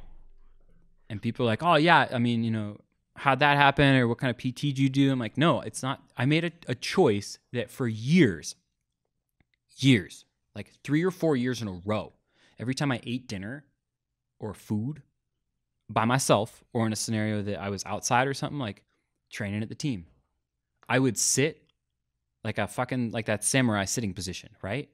Or squat, like third world squat all the time. And it was really shitty for the first couple of years, but it fixed you. It, fi- it fixed my hips and it fixed my ankle. Right. And you know what? People ask, like, oh, well, you know, or I don't have time for it. Well, if you watched an episode of anything, you have time. Yeah. I, You're I just not, I- I you, feel- you aren't a priority to yourself. That's fine. I feel like an asshole. Like not really, but people are always asking me the last week or so. Have you been watching the the Tiger King or whatever it is? I'm like, dude, my my uh, my my partner was texting me at nine o'clock last night. He's like, "Hey man, you want to go through? You want to read this contract?" And I was like, "Man, I barely have enough mental capacity right now to read bedtime stories." Yeah. I'm I'm I'm done. Tapped like I'm out. tapped out. I, by nine o'clock, I'm up at five, typically five thirty, late point five thirty. It's about right because I see the coffee making every morning. Yeah. and you know i have a rhythm and a routine to my day none of my rhythm and my routine in my day exists anywhere near netflix it Yeah. doesn't even fucking come into my radar Yeah.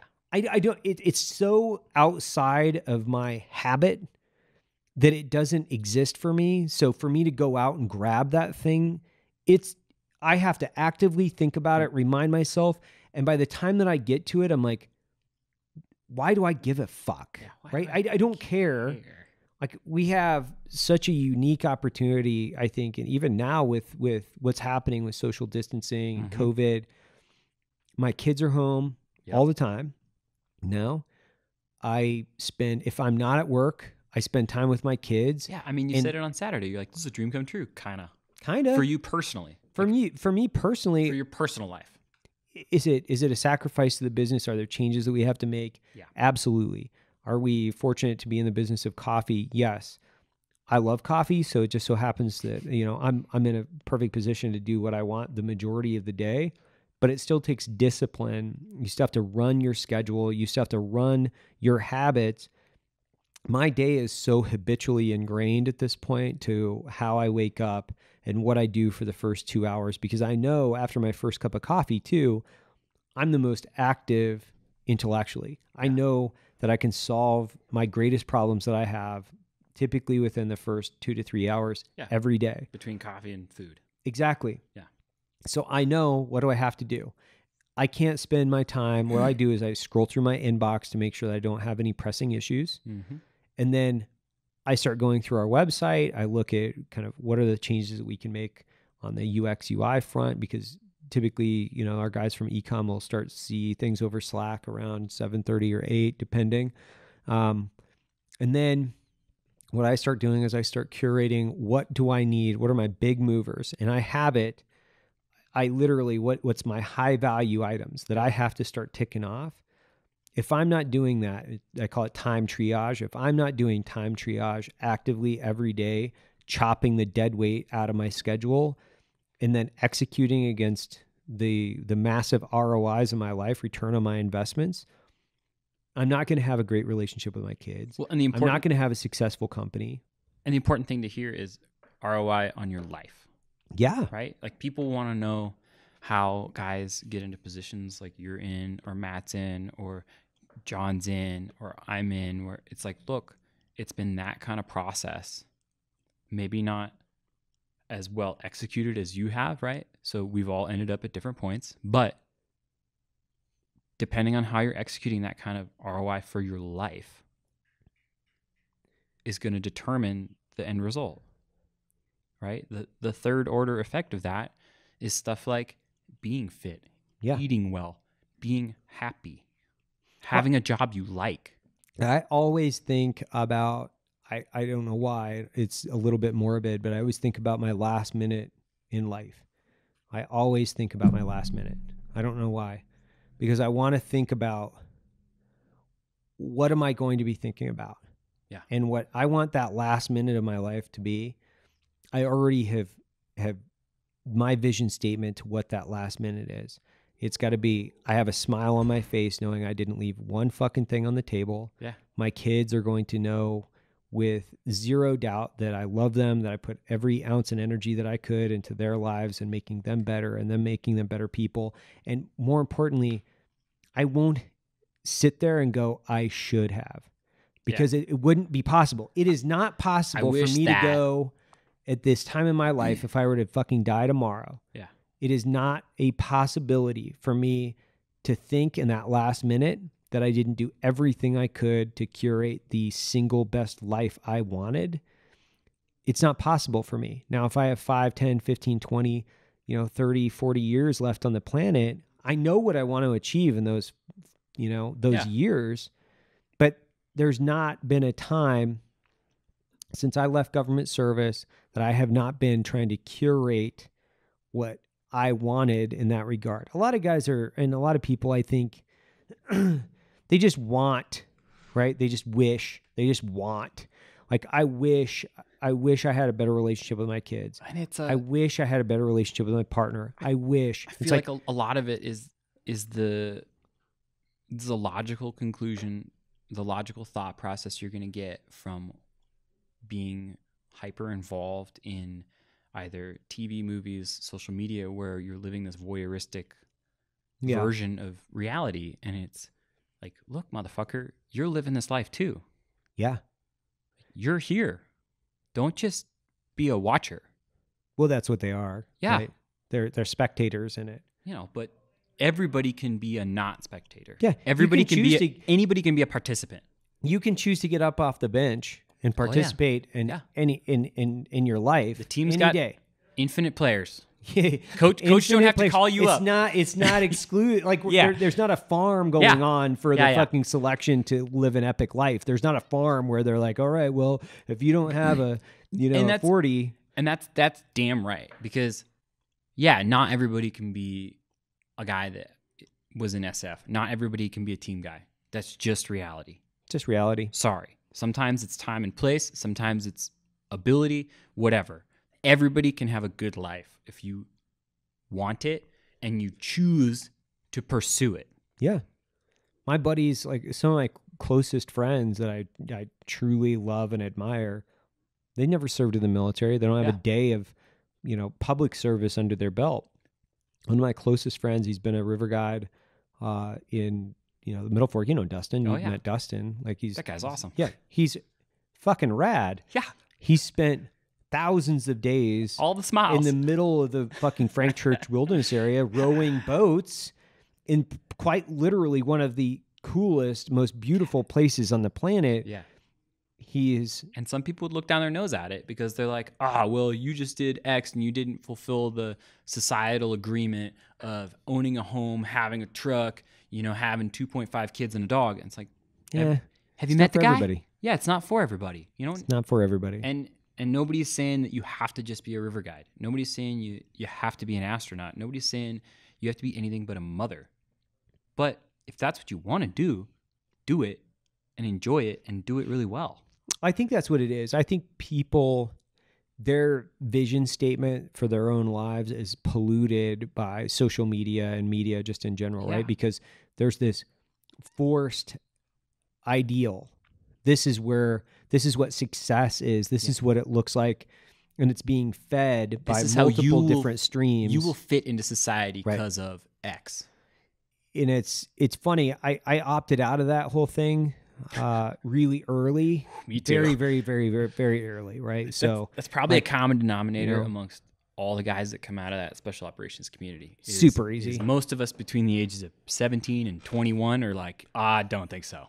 I'm good. this ain't I'm all for me. good on that. Ain't This for me, dog. Yeah. and it's so funny because I was wearing Birkenstocks the other day, and somebody's like, "You wear Birkenstocks?" I'm like, "Yeah, they're super comfortable shoes." I think I said, "Oh, cool." yeah, like yeah, suppressors and Birkenstocks. This could be like a, a whole thing that I'm into, right? Where, you know, I, I I I don't really pay a lot of attention to See, we have a note. what's cool Yeah. you know because honestly that's that's a manufactured that's a manufactured existence Yeah. based on uh, uh, marketing and Based a bunch of people that are it, it is and a lot of it is based on a false reality of a bunch of people that are really fucking shallow and self-absorbed like i have no no desire to to be a kardashian or anything close to that type of lifestyle right because it's completely built on artificiality it's it's an artificial existence Yeah. there's no tangible there's no tangible fulfillment outside of just money. Not even fulfillment. It's your reason for existing at that point is so that you can purchase products and make other people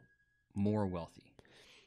That's why that's why that lane of traffic exists. I completely I completely agree. Now, I do own a company that does market to people, but uh Yeah, but it- it- but it is for me when I say that it's it's I I mean, just listen to what we're saying. Like, yeah, right? Like we're not coming at it from these shoes are cool because they're cool because I say they're cool. That's why you need to own them.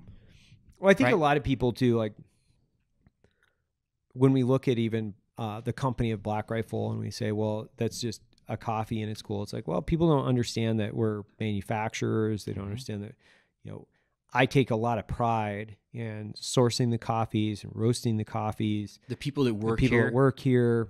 It, it, it, it's a it to be good at marketing is one thing.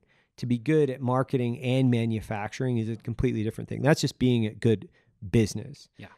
Now, when you're just marketing ship products to market a ship product, that's totally different. I've taken that one too, where people are like, "Well, you just put you know veteran owned on stuff." I'm like, "Well, no." In all actuality, we were one of the first companies to put that out because I wanted people to know what type of a company we were. Yeah. I wanted people to know that we're pro Second Amendment. I wanted people to know that I'm a conservative. I wanted people to know because what I felt was it was important for the consumer purchasing that they knew who they were purchasing from. It's in the fucking name, Well- Black Rifle Coffee Company. It's really hard for me to say well, and I'm the it's re- fucking granola, you know, crunching, tree hugging. and you it's know, reflected. I'm in, not. in who works here, and how how the values are shown through the charities that are given out, right? Mhm. And through how the coffee is made, who makes it, who prints the shirts, who does everything everywhere. Right? The values are there. And it doesn't necessarily mean that everybody was in the service because they're not. No, they're not. Fifty they're all percent of good the people. company, right? Fifty percent of the company, and I think it's. I think it is one of those things. Not to go off on some type of tangent on that, but I think there's a big difference between people that are just marketing products they have no idea about, and people that are marketing products that are their product. There, this is my product. I put Yeah. my name on it. This is my company. When we look at the company, it's really you know it's it's Matt, myself, and you know Jared and these guys. You know they're very much the media side of the business. I'm very much the operational design aspect of the company. And the way that we have a division of labor and this ebb and Mhm. flow and how we kind of create the team. And what we're trying to do is galvanize these ecosystems between customer and company. There's nothing wrong with creating incredible content to go along with an incredible product. What I've always said is like, if you have an incredible product, you should try to create the greatest marketing component to make sure that it exemplifies what you're creating. Yeah. If you're not, you're failing. Well, and we talked about this when designing the future and outlook for FRA, right? right. Like creating an ecosystem with a product that is the people Mm-hmm. And the things that we're touching, using, places we're going, and guys that we're talking to, guys and gals that we're talking to as the product, right? And then marketing the crap out of it because people deserve that kind of resource and that kind of cool shit to see and They be part of and touch. Well, if I was the consumer on the other end, which I am, right? So Yeah. before I was roasting coffee for other people, I was roasting coffee for myself. Yeah. I I set off with the goal to create the best drip coffee I could ever roast for myself, not for other people. Yeah, single I had. I had no ambitions whatsoever of selling coffee outside of just me and my circle of friends. Mhm. Zero. I just wanted to roast incredible coffee. That was it. And from there, obviously, it's grown. But I think some people they kind of mistake some of those things. You guys are great at marketing. Yeah, we're great at marketing. We're incredible manufacturers, which to me, those are just developing different skill sets within your own business mm-hmm. ecosystem that continue to develop over time. If people think we're great marketers now, Watch- they ain't, watch they ain't out. seen fucking Yeah. nothing yet, bro. They ain't seen, I remember talking about this in January. Like you ain't just watch nothing. out. Just watch the fuck out Yeah. because And that know, and that's gonna be reflected here did it at the it- company as well as FRA. Yeah, and, and that's part of the FRA expansion, right? It's Yeah. like part of this entire thing, which is how do we expand and create media that you know inspires the American dream through hard work and adventure? That is Exactly. the mission statement. Yeah. That's what we're trying to accomplish every Yeah. day. We're going to inject that back in. A living ecosystem that people can participate in, either voyeuristically or actually participate in. Right. And I don't want to inspire people when when I look at this and I look at, you know, you being part of it and you know, John and Andy and all these fucking incredible people The cat man. really just like sucking what's out of our heads because we go out and we're so fucking lucky. Like when we go hunting with guys like John Barklow, who's designing new equipment and gear for Sitka, holy crap. What a fucking phenomenal one. He's a great guy to hang out with because he's super fun. Two, the guy gives us a, a, a shit ton of gear, which is even better, right? But three, like the guy's a, he- he's just awesome human. he's an awesome human being. You can't help but be inspired by these people. Love that guy. And I'm- like when we're- when we put the list together of people, we're like, who do we want to have on this year? Who do we want to talk to? Right. Right. That was another pinch, you know, pinch yourself moment where it's like, I can. These aren't like wish list names. Like these are people that I can call that are in my fucking phone that I could Like, call this human. It's crazy. and I could be like, hey call man, this human. yeah, yeah. Like, hey, can I have you on this show? Right. And every single one of I think I came back that next week. I was like, yeah, no, they all said they do it. It's all said they do it. Like Mark Twight is a great example of that. I've been a huge Mark Twight Mark Mark Twight fan for before Yeah. he was Jim Jones. So uh, I was telling you that story Mhm. where Kiss or Kill Confessions of a Serial Climber. Oh yeah. Went to his book signing. There's like 20 people in Seattle. He's an epic human. He's incredible. Incredible person. He's an incredible person. He'll be on the show. Yeah. Like, he'll as be on the show. get him on. Yeah, as soon as He's we can get him on. He's he's one of those guys where I think when you look and listen to, you know, if if if you're participating in these things, these activities, this whole thing called life, Yeah. it's you know, it used to be a saying like tune out to tune in, right? It's like you got to tune out of Yeah. this Rat race. bullshit, just media component that's plugged in on Instagram and Facebook. You got to plug, you got to unplug from that. especially because those things are such echo chambers. They right? are, Like yeah. you know, if you're watching right wing news, you're you're a person that's getting spun up by right wing stuff. If Yeah. you're watching left wing news, you're a person that's getting spun up by left wing stuff because that's how they that's how they draw you in. That's how they get you in there because you scream, "Oh shit, oh shit," and it echoes back, "Yeah, shit, oh shit, oh shit." Yeah, that's not what should be going on, and I think that it's cool. All the people we're able to involve in this and have on and have people listen to or see is instead of being key holders, we can be door openers Yeah. to information. Well, I think that's that's the big that's the big thing, which is you know FRA and what are we trying to accomplish with this? What are we trying to accomplish with the podcast? It's just providing access to interesting people. Yeah. Trevor's going to be a, a mainstay component, so you can continue to add, you know, your personality and what type of value you're creating in your own life is only going to translate directly into what we're doing. So, you know, where can they find you? I think that's a good spot. We can tie this up because we've Yeah. been we're at an hour and some change. So Hour and change is where great. it's uh Thompson Parasports, Nope. or did you change it? I changed it. I made it What is easier. it? Trevor.p.thompson. Oh, okay, yeah, Trevor. Super P. simple. Just my name That's right. on Instagram. Uh, links to my website and links to my photography stuff, which is Thompson Epic. Shots. Yeah. Yeah. on uh, Instagram also. Uh, but uh, just check me out there if you want to see me, and I'll be back on FRA's shows as well as some other stuff. Yeah, I mean you're all over the place. I'm kind of so- all over the place. Yeah, he's all over the place. Uh, so Trevor Thompson, thanks, man. I appreciate it. Obviously, you're Hell here Evan. all the time. So I mean, we're we're gonna have him on the show a lot more. The next one we're doing is gonna be with the founder of TRX. So he'll be on the show for our next episode. Matt, myself, and Jared are gonna do another one. Uh, John Dudley is coming up. He's in the shoot again. So John's going to be in one of the shows. We're going to get Andy, a bunch of the guys that are just basically Twight. same ecosystem. Mark Twight. Yep. We've got a laundry list of really, really fucking Super cool, cool, episodes. interesting humans. Yes, interesting humans. So thanks a lot, everybody. Thanks for tuning Yeah. in.